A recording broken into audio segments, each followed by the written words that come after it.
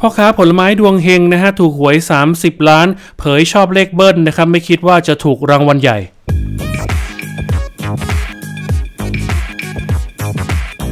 พ่อค้าผลไม้สุดเฮงถูกรางวัลที่1นะฮะรับ 30 ล้าน เผยตัวเองชอบเลขเบิ้ลนะฮะจึงซื้อไว้เตรียมนำเงินทั้งหมดนี้นะครับไปใช้หนี้และกลับไปตั้งหลักที่บ้านเกิดขอนแก่น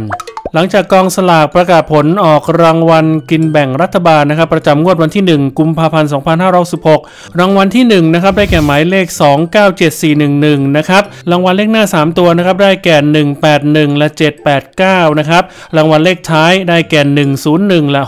664 และรางวัลเลขท้าย 2 ตัวนะครับได้แก่หมายเลข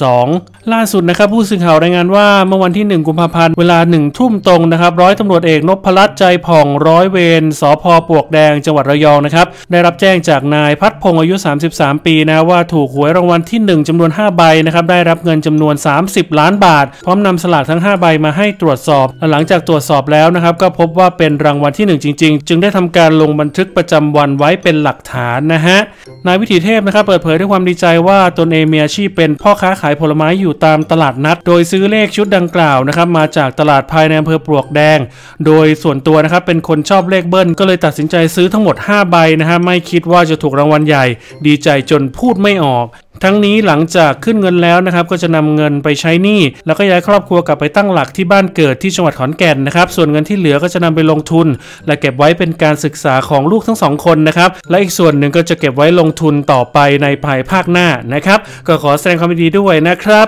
ขอขอบคุณข้อมูลดีๆจากสนุด .com นะฮะและขอขอบคุณเพื่อนๆที่ติดตาม ฝากกดไลค์กดแชร์กด subscribe เพื่อเป็นกำลังใจด้วยนะครับ แล้วเจอกันใหม่ในคลิปหน้าสำหรับวันนี้ไปซื้อหวยกันแล้วครับ ติดตามห้องข่าวพีนิวได้ทาง Facebook Twitter และ IG